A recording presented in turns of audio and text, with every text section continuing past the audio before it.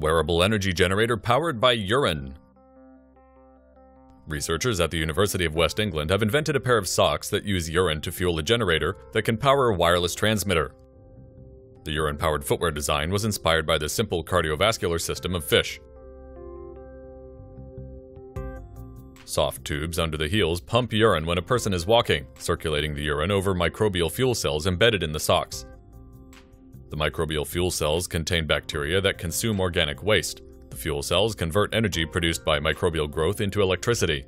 The electricity generated by the socks can power a wireless transmitter that sends a signal to a computer. The system comes with a container that can store up to 648 milliliters of urine.